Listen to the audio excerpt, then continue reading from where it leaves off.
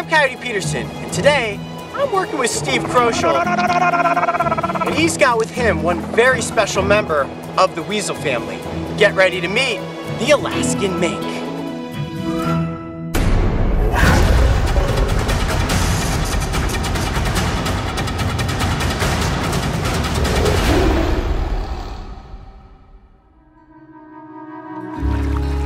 If there's one thing I learned about Alaska while exploring this beautiful state, it's that with every step you take, the wilderness only becomes more vast. As a human, you are small in Alaska, and the grand scale of this wild place really brings you in tune with nature. For me, getting in touch with nature usually means having an encounter with an animal. However, many animals can be difficult to see in the wild, and trying to interact with them can be dangerous. Check that out. Those are grizzly prints right there. Today I am getting the incredible opportunity to work alongside animal expert Steve Kroschel, who is going to help me get up close with one wily little creature that has been raised in his wildlife sanctuary, the Alaskan mink. Right now, I'm in an enclosure with the Alaskan mink, one of the stealthiest predators in the weasel family. And it's right here in front of me. You wanna come up here? Whoa, get real close to my leg there. You may wonder why I'm barefoot. That's because Steve told me that by being barefoot, it would help me connect with the earth, and in turn, help me connect with the animals. These are little mink games, and I have to be careful because the mink's teeth are unbelievably sharp. They're like little tiny needles. It's so cool how they are able to just turn around inside their skin, and that's one unique feature of all members of the weasel family. Like if I were to hold that mink by the scruff of its neck, it could completely spin its body. So let's say a predator, like a golden eagle, swoops in and grabs that animal with its talons. The mink can actually wrap its body around and attack the eagle as it is being attacked. That is one incredible defensive maneuver. Where did you go? There you go. Is that fun to play with? Biting on my sleeves, biting on my bracelet. And if I was one of her litter mates, this is exactly how she'd be playing. Even adult minks are incredibly playful in the wild. All members of the weasel family love to play. Would you like to go down to the river and have a splash? What do you think? Would that be fun? You lead the way. Ready? Let's go. Steve is incredibly connected to the planet. Part of this connection is his ability to communicate with animals, which he has been doing most of his life. Now, Steve, Yeah. I heard you earlier making a noise.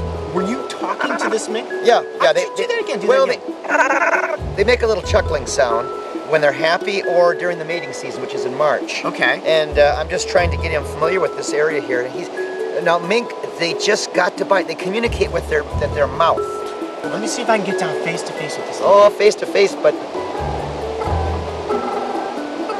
at that. Look at that. That face is. One thing that I love about mink is how adorable they are. I see, and they have that little white chin, Yeah. just like a Wolverine. all wild mink have that basically. Uh, Would you say more likely gonna, it wants to see- go down and bite your toes. Oh, I, I bet it Is does. that we okay? Can I let it go? Yeah. Well, should we take it over into a natural pool of water and Well, see if yeah. it'll splash around? Let's, let's let it start here. Oh God, well, here it goes.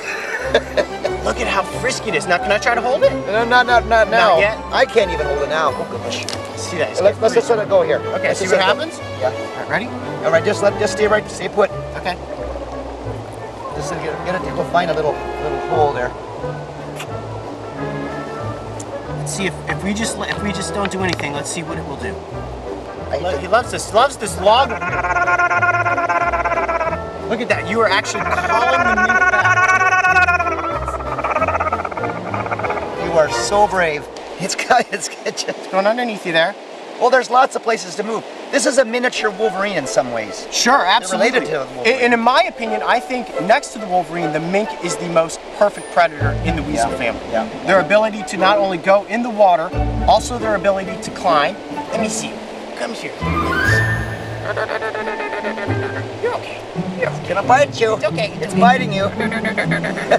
Watch your, you can't hold on to them. You can't. They're so squirmy, and, and the length of the body. Let me see. Hi. That's about as much time as you can get going face to face with the mink. Just like that, I blow a little air at its face, and it's like, "Did you brush your teeth this morning?" And he's like, "I'm out of here." Let's see if we can bring it over to the water. Do you think if we put it in the water, it'll kind of splash around Let's- like in the natural environment? Let's try it. That would be awesome. Then we could show you guys just how hydrophobic that coat really is. Hey, you want to go into the water?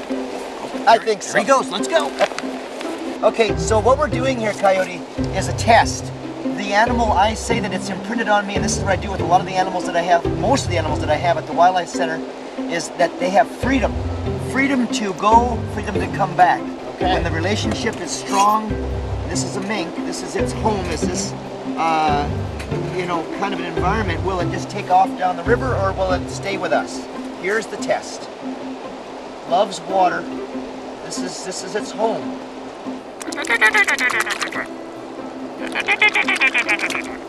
What I'm doing right now is trying to just call the mink in. Once it gets comfortable with me, I have a good feeling, it's gonna kind of just buddy up to me, and then we'll be right here splashing around in the water.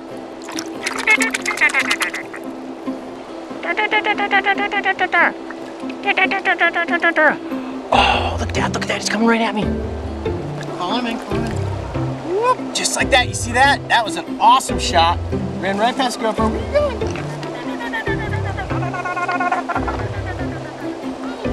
You're developing a relationship, Coyote, with this semi-aquatic animal.